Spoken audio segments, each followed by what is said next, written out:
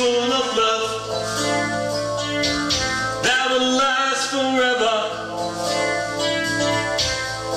He will protect you from harm. Ask him in your heart.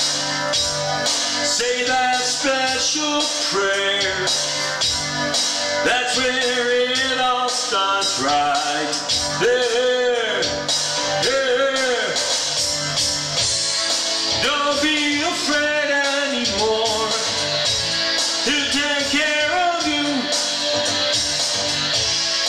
He can relate to your pain. He's been there too. He's full of love that will last forever. He will protect you from harm. Don't be afraid.